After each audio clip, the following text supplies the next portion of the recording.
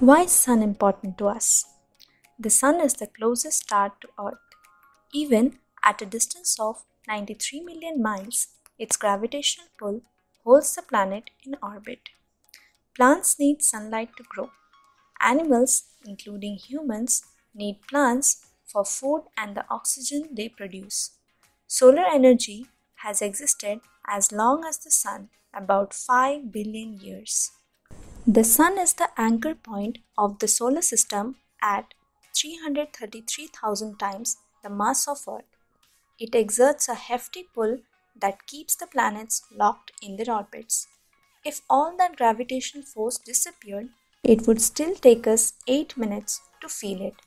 That's because, according to Einstein's theory of relativity, gravity travels at the same speed as light.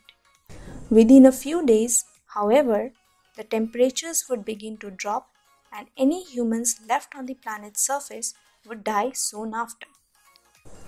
Within two months, the ocean surface would freeze over, but it would take another thousand years for our seas to freeze solid.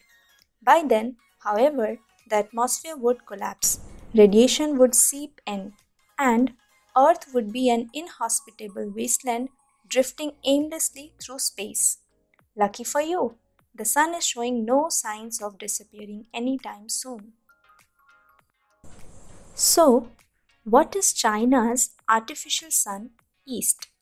The experimental advanced superconducting tokamak reactor is an advanced nuclear fusion experimental research device located at the Institute of Plasma Physics of the Chinese Academy of Sciences in Hefei, China. The purpose of the artificial sun is to replicate the process of nuclear fusion, which is the same reaction that powers the sun. Make sure you subscribe the channel, click the bell icon for more such amazing videos.